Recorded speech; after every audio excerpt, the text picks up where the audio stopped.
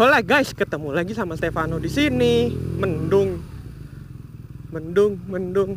Di kesempatan kali ini uh, ada berbagai macam request yang gimana sih mas untuk kayak membeli tips lah, tips-tips dari gua supaya kalau kalian mau beli motor-motor second atau motor moge second itu apa aja yang perlu kalian lihat. Semua tips yang gua kasih ini uh, itu semuanya based on my experience ya. Berdasarkan pengalaman pribadi gue jadi kayak masing-masing dalam membeli motor bekas atau moge bekas itu masing-masing pasti punya cara-caranya sendiri dan tips-tips mereka sendiri. Nah intinya semuanya ini adalah tips-tips dari gue ya. Jadi uh, buat kalian yang punya tips-tips yang lain monggo boleh banget kalian share di bawah. Dan ini adalah tips dari gua adalah 5 tips dari gua sebelum membeli moge bekas atau moge second. Kita mulai dari yang pertama.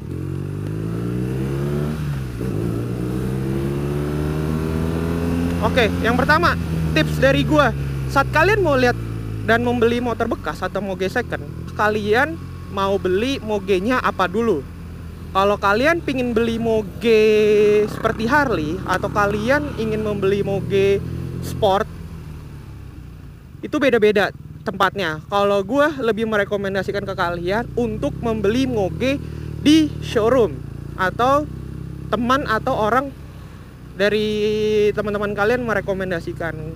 Karena gue jarang beli moge second ke pedagang yang nggak punya showroom which means ngeri karena kalau kalian uh, beli moge dan kalian tahu showroomnya kalau kalian mau untuk contoh asumsi ada masalah kalian tahu tempatnya kalian tahu uh, untuk komplainnya ke mana dan lain-lain dan itu akan lebih enak karena kalian tahu showroomnya dan tahu tempat uh, moge kalian belinya di mana. Contoh kalau untuk beli Harley, mungkin gue merekomendasikan di Brotherland yang ada di Antasari. Untuk motor sport, mungkin kalian tahu lah, RNG, oke. Okay. Setelah kalian udah tahu kalian mau beli moge apa dan tahu tempatnya di mana, nomor dua adalah kalian lihat dari segitiganya. Kalau kalian mau beli, oke, okay, mungkin sekarang gue ngasih tahu di saat uh, kondisi motor itu boleh di test drive. Tapi gimana bang kalau motor itu nggak boleh di test drive dan hanya cuma boleh dilihat aja gitu nggak nggak boleh di test drive?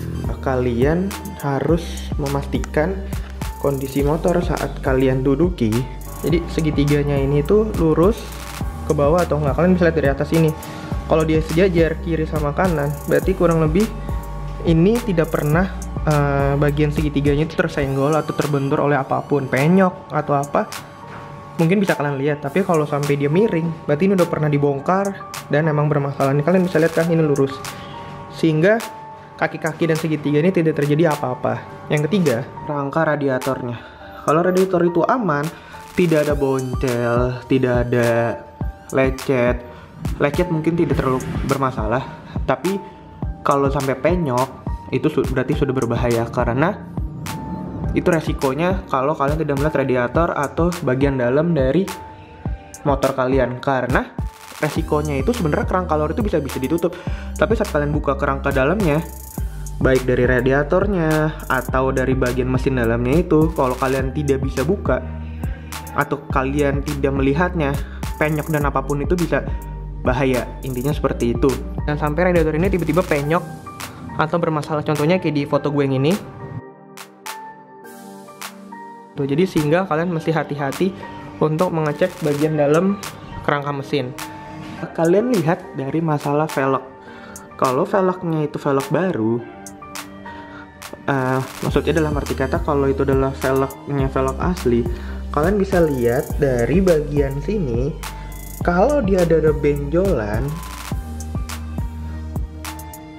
berarti ini motor kemungkinan besar pernah juga nabrak atau pernah membentur kayak entah itu lobang atau apa pun itu. Tapi yang paling penting kalian pegang dengan tangan kalian elus kalian putar dan kalian akan bisa melihat apakah velg itu terjadi ada dempulan atau bengkok atau tidak rata. Walaupun nanti di repair atau apa segala macam pun itu yang penting saat kalian ngecek orang kalau udah panik dia nggak mungkin ada niat untuk ngebetulin dulu velgnya kalau tadi kan di dua dan nomor tiga itu kalian nggak bisa di test drive kalian hanya bisa melihat dari fisiknya aja itu tadi dari nomor satu, dua dan tiga karena kalian kan pertama tahu dulu tempatnya di mana, mau beli yang mana. Tanya rekomendasi kali teman-teman kalian dan mungkin siapa kalian yang udah pernah. Terus Masuk ke nomor 4 adalah kalian kalau boleh test drive, kalian mencoba ditarikan uh, eh, RPM yang tinggi. Kondisinya um, bagus, velgnya aman, radiatornya nggak bermasalah. Tapi gimana cara ngecek mesinnya? Bener nggak? Dan itu emang sering kali susah untuk dicoba gara-gara mereka jarang mau untuk di test drive karena takut motornya jatuh motornya apa motornya tiba-tiba di bawa kabur emang terbanyak uh, banyak sekali showroom yang emang takut kalau kita mau test drive motornya tapi uh, saran gue yang keempat ialah kalian mencoba untuk lihat dari mesinnya itu rembes atau enggak. Kalian hidupin mesinnya. Apakah nanti ada kayak oli atau oil yang keluar dari packing? Packing itu ada dari mesin yang ada di uh, bagian kalau di boxer gue kurang paham tapi kalau di bagian Harley itu di dekat perpindahan giginya. Jadi kayak netes atau enggak. Mungkin di sini juga kelihatan dari mesinnya ini nih. Netes atau enggak berair atau enggak. Kan kan ini kan boxer itu kan rata ininya. Air liquidnya tuh di bawah tuh bisa kelihatan di nanti mungkin di bawah bisa kelihatan. Kan kalian bisa di bawahnya tidak ada bagian netes sehingga mesin bisa dibilang aman. Tidak ada rembes tidak ada kelihatan oli yang nete apa keluar gitu kering semuanya karena banyak banget yang jual mesin kering mesin kering berarti menandakan mesin itu aman. Gitu. Intinya gitu kalian lihat dulu berair atau enggak karena kalau mesin rembes itu berarti mesin itu udah nggak sehat. Dan kalau kalian beruntung kalian boleh test drive kalian mesti lihat di tarikan yang tadi gue bilang RPM tinggi. Kan kalau kalian emang nggak bisa test drive-nya kalian tadi ikuti cara gue yang pertama lihat mesinnya rembes bocor atau enggak di bagian bawahnya itu netes oli atau apa pun itu atau enggak. Kalau kalian boleh test drive kalian coba tarik di RPM yang tinggi. Misalnya kalau mesin itu bermasalah dia tuh saat karikan tinggi motor dia tuh nggak narik karena mesinnya udah nggak kuat. Jadi kayak gigi dua gigi, sorry gigi tiga ke atas itu biasanya dia udah agak susah untuk narik.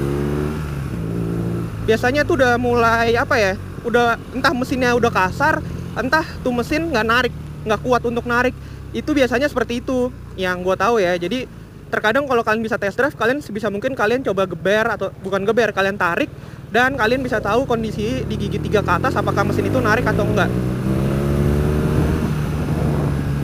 Biasanya sih seperti itu. Tips nomor 5 ini adalah tips yang menurut gue paling aman. Di mana kalian cari teknisi atau orang terpercaya, kenal atau teman kalian kenal, ajak dia untuk datang dan melihat motor itu.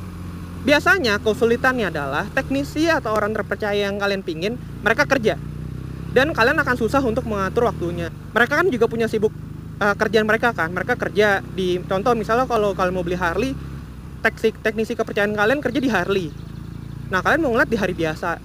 Mereka kerja susah kan? Jadi ya mungkin kebanyakan uh, kesusahan dalam memilih waktu.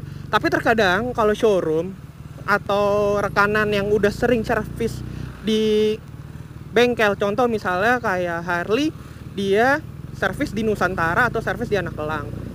Showroomnya itu udah ketahuan, sering di sana. Mungkin dengan rekomendasi dari teknisi bilang, bos gue mau beli ngambil Harley ini. Oh iya kemarin habis servis di sini, gimana motornya aman? Nah berarti kan kalian secara tidak langsung percaya dong oh berarti emang rekomendasi gitu dan juga mungkin kalau kayak motor sport kayak contoh uh, kalian ambil motor di bengkel ini terus kalian tanya servis di mana? Uh, servisnya di Kawasaki Fatmawati nih. Oh gitu. Nah kalian bisa ngecek bener nggak sih motor ini di servis di Kawasaki Fatmawati? Dan ternyata kalau emang bener. Berarti kan kalian juga bisa menjadikan itu sebagai referensi lah intinya seperti itu. Untuk membeli moge itu ya yang gua rangkum yang pertama yaitu kalian dealernya apa? Mungkin teman. Setidaknya teman itu bekas servisnya di mana? Karena servis uh, resmi biasanya ada track record. Contoh motor temen gua itu servis di bengkel A. Nanti di situ ada track recordnya tuh. Uh, plat ini uh, servisnya di sini uh, ada kejadian apa apa nah biasanya kayak gitu. Jadi kalau kalian biasanya servis resmi itu paling enak untuk ngecek track recordnya. Kecuali saat kalian beli moge itu track recordnya bukan di bengkel resmi. Biasanya susah. Kayak bengkel-bengkel biasa gitu tuh susah banget kalian untuk ngecekin track recordnya. Sehingga gue sangat menyarankan kalau kalian mau beli motor second moge second itu beli dilihat dari track record servisnya di mana nah, intinya itu sih. Ya intinya itu adalah tips-tips yang bisa gue bagikan dan uh, sepengetahuan gua. Jadi mungkin kalau menurut kalian yang sudah sering beli motor second atau moge second menurut kalian tipsnya gimana sih supaya untuk orang-orang yang baru mau beli supaya tidak tertipu? Karena kan banyak yang kayak baru mau beli moge terus maunya beli second aja. Hal hasil moge dia bekas tabrakan moge dia bekas celakaan dan dan rasanya apes tuh kayak nggak enak kan. Kalian saat udah nabung-nabung beli moge mahal-mahal ternyata mogenya bekas tabrakan. Pahit banget. Jadi ya di sini gue cuma sekali yang sharing supaya kalian yang mau beli moge tidak apa ya tidak apes tidak takut lah gitu intinya. Jadi moge second kalau kalian lihatnya dengan teliti pasti aman-aman aja dan bagus-bagus aja sih. Itu menurut gue ya intinya pinter-pinter dalam memilih lah. Karena susah banget sih emang untuk memilih uh, motor second tuh susah banget. Karena seteliti-telitinya kita yang paling penting tuh saat kerangkanya bagus mesinnya bermasalah kerangkanya bermasalah ternyata mesinnya bagus. Jadi ya mesti wise mesti pelan-pelan jangan buru-buru jangan terburu nafsu jangan lihat gara-gara nih motor langka terus kalian langsung beli dan kalian nggak ngecekin jadi ya mesti dicekin semuanya dari mesin kerangka dan apa pun itu. Iya segitu dulu ya guys. Uh, video gue semoga bisa bermanfaat. Mohon maaf apabila ada kekurangan dari video gue dan ditunggu video-video gue berikutnya. I'll see you guys in the next video. Bye bye guys